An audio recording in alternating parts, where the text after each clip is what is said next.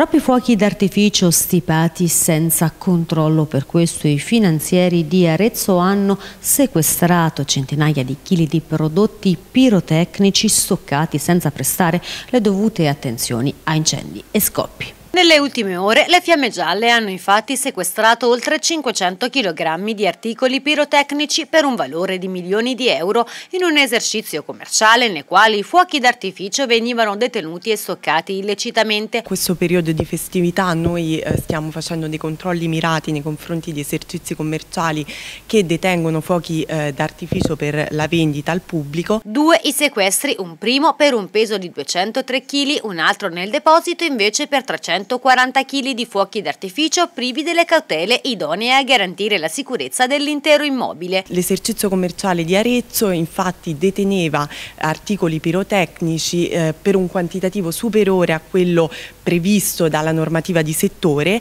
eh, che no, deve, non può superare una determinata soglia che è quella di 50 kg di materiale esplosivo netto. Per quanto riguarda invece il locale deposito ci sono delle cautele che devono essere prese eh, diciamo, eh, in considerazione dal commerciante per evitare quelli che possono essere degli incidenti. I militari in tutto hanno sequestrato oltre 96.000 pezzi e denunciato il possessore per commercio abusivo di materie esplodenti. Possiamo immaginare come ehm, per un esercizio commerciale che non ha la licenza di pubblica sicurezza perché può eh, detenere un limite proprio per questo motivo di, eh, di fuochi d'artificio, insomma era un numero eh, elevato e eh, quindi poteva essere veramente pericoloso detenerlo in quella maniera.